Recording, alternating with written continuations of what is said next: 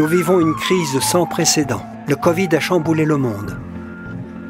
Malgré toutes les mesures, une nouvelle vague de pauvreté dont on ne connaît pas encore l'ampleur semble inéluctable. Ils ont reporté le NSS, ils ont reporté leur crédit, ils ont reporté leur loyer. Mais jamais ils vont savoir se rattraper. Il y a les contrats précaires qui sont passés les premiers à la trappe. Les gens qui appellent en disant mais comment je fais pour, euh, pour manger, pour aller faire mes courses, pour payer mon loyer? Les personnes ne savent plus assurer les premiers besoins, les besoins de base. C'est pas les gens pauvres qui coûtent un pont, c'est la manière dont on ne résout pas la pauvreté qui coûte un pont.